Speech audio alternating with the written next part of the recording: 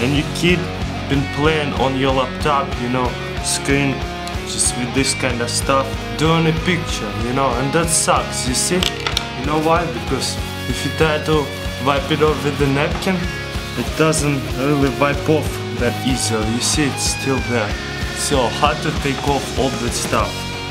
WD-40 removes this oil stuff pretty easily.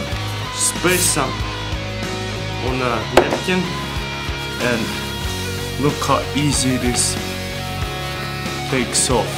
You can use on any monitor and it'll be even cleaner than it was before.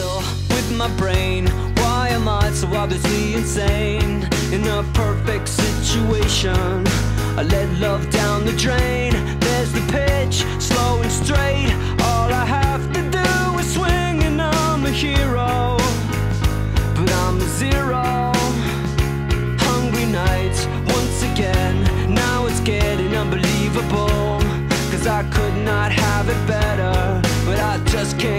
No play